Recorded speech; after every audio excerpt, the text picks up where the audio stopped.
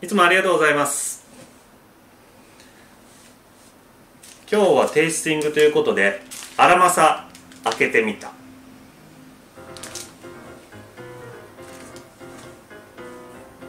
今回のアラマサは、えーと、アラマサのあのナンバー6の企画としてあの、まあ、10周年を迎える節目の年なので、まあ、全部でですね、まあ、6種類の、まあ、ナンバー6が、まあ、今年リリースされるんですけれどもすでに第1回目と第2回目は、まあ、終了してしまいましてでこの第3回目の、えーと、上国領勇タイプということで本日あのこのお酒が発売となりました、まあ、早速ですねあの私たちも開けます。なんか YouTuber っぽくなってきた えっと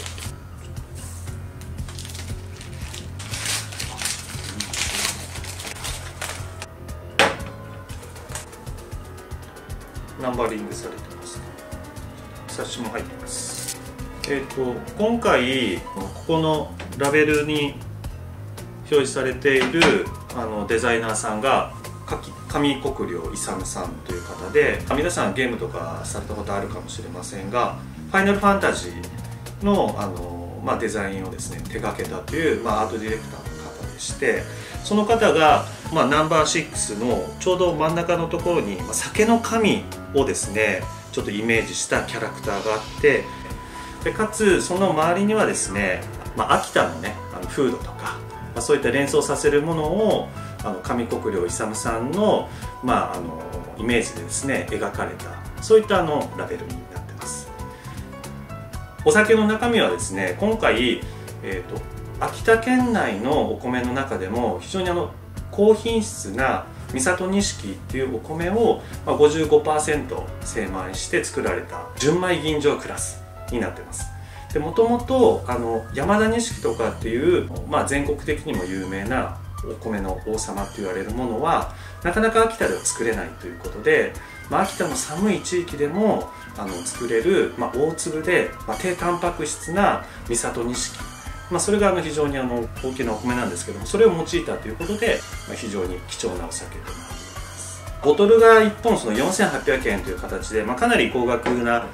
まあ、値段設定にはなってるんですけれども、まあ、一つにはですね先日あの荒政酒造の方の蔵の方見に行かせていただいたんですけれども多岐にわたってですね、まあ、機械化からもうほんと手作業っていう部分に昔のね江戸時代とかでやられてた製法をあの随所に取り入れてまして、まあ、お米ももちろん手洗いであったり、まあ、原料である三里錦も無農薬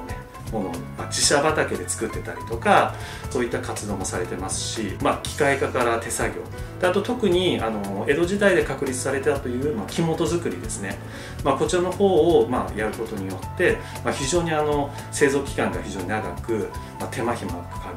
でかつあのアルコールもですね原酒で13%のお酒を作るっていうのは、まあ、非常に難しい作業になるんですけども、まあ、それも実践されてますし気温計で仕込んだりですとかまあ、手作業でそれをあのちょっと現代風にアレンジしながら作った一本ということで、まあ、4800円って、まあ、一見聞くと高く感じるんですけれども、まあ、凝縮したですね、まあ、全てのまあ技術とかそういったものが込められたお酒になってます。でそれともう一つあのナンバー6って言われる、まあ、6って書かれたあの意味というのは基本的にはあの境界6号酵母と言われる、まあ、アルコールを発酵させるための酵母今あの協会の方で販売している、まあ、一番古い工房が、まあ、6号工房になるんですけれどもこれはあの荒政酒造から分離された工房になりますので今、まあ、市販されている中では、まあ、一番古い工房ということで、まあ、それをメインにですね、まあ、全てのお酒を、まあ、荒政酒造ではあの作っているとそういう形になってます。であと今回の、まあ、荒政さんから頂いた資料を見ますと実験的な手法としてですねレザレクションを用いてますと書いてるんですけれどもワイン製法でいう、まあ、シュールリーっていう製法と似たような形で、まあ、それを応用したっていうふうに書いてますので基本的にはシュールリーっていうのは、まあ、檻の上っていう意味でまあなんていうんですかカスというか酒かすを残した状態でそれであのお酒を保管というかすることによって味わいに複雑さですとかそういったものをま引き出すそういった形になると思います。でかつ折を接触させることによって意外とあのフレッシュな状態も保てると思いますのでそれがあの複雑性とか、ま、奥行きとかがありながらもかつあのフレッシュで、ま、ちょっとみずみずしさが残る、ま、そういった味になってるんじゃないかなと、ま、ちょっと予想はしてますけど。じゃあ早速開けてみます。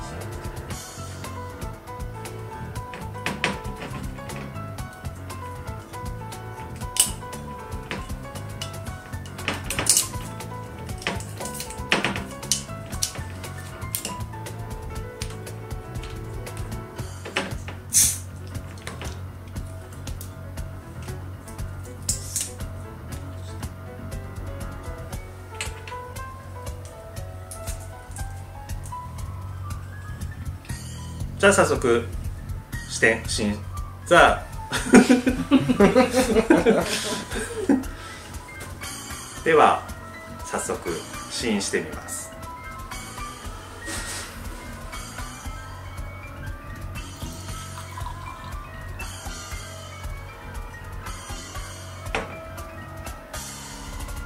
まずその、まあ、色合い的にはほのかにまあ、あの黄金色がかった、まあ、かすかに黄色と、まあ、ちょっと緑が加わったようなフレッシュな色調感と、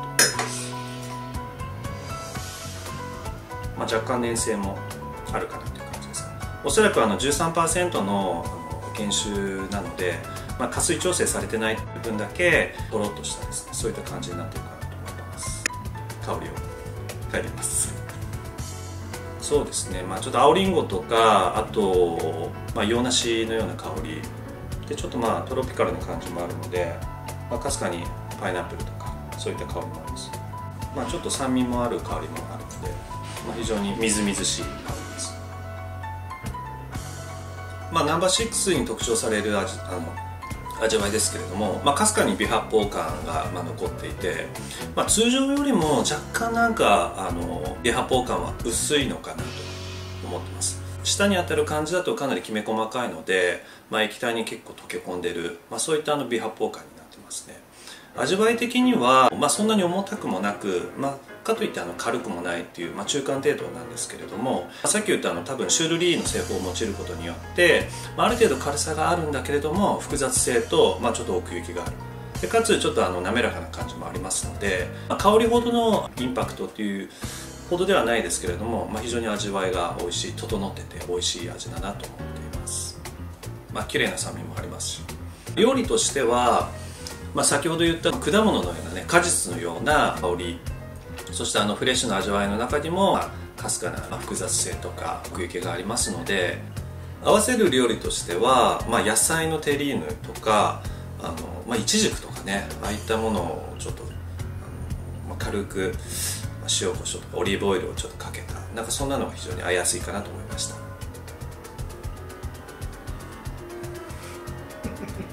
以上です 今回こういったあのタグがついてるんですけれども、まあ、全部で4500本、まあ、リリースされてます。えーと、全国のアラマソのじゃあ特約店酒屋さんはじゃあ何軒あるんですか？ということで、まあ、正式にはまあ公表されてはいないんですけどもおおむねあの100件、まあ、プラスアルファという形だと思います、えーと、一部ではですねあの、まあ、特約店ということで、まあ、どこどこの酒屋さんという公表されてたりはするんですけれども、まあ、北海道ではまあ3軒の酒屋さんが取り扱いしてます。で札幌の桜本商店と、まあ、旭川の、まあ、土井商店と帯広の、まあ、クライアンさん、まあ、この3店舗が、まあ、取り扱いしています。で今回も、まあ、当店と同じようにですね、まあ、他の2店舗も、まあ、上国領勇タイプを、まあ、販売まあ、どのような形でしてるかっていうのはちょっと詳しくは分かりませんけれども、まあ、かなり数が少ないですので、まあ、やっぱり抽選ですとか何らかの形で、まあ、販売しているということになります。かなりちょっと貴重なものになってますのでまあ、多くの人にですねあのご提供、まあ、ご販売できないっていう、まあ、難しい問題があるんですけれども、まあ、今回はちょっと代表して、まあ、うちの取扱銘柄でもありますので、まあ、テイスティングコメントを出させていただきました。今回ナンバー6の、まあ、10周年記念として全部であの6種類発売されるんですけれどもあの、まあ、第1弾としてもうすでに販売を終えた大輔リチャード。でその後に続いた刺繍で今回の第3弾の、まあ、上国領勇タイプ。で、えっと、第4弾第5弾第6弾と、まあ、年内で、発売される予定になってるんですけれども、まあ、すでに、まあ、荒政酒造の、まあ、佐藤社長が、まあ、ツイッターであの公表しているのが、まあ、漫画家さんのコラボということになってますのでまだ詳細な案内は来てないですけれども楽しみにしています。えっと、今後の、まあ、第4弾第5弾第6弾も、まあ、当店の方で、まあ、入荷する予定になっておりますので、まあ、ぜひですね SNS を含めた、まあ、当店のサイトの方をチェックしてください。数は少ないので申し訳ありません。よろしくお願いいたします。まあ、この動画を気に入っていただいた方は、まあ、桜本商店のあの YouTube のチャンネル登録あとグッドボタンよろしくお願いいたします。はい、ありがとうございます。長い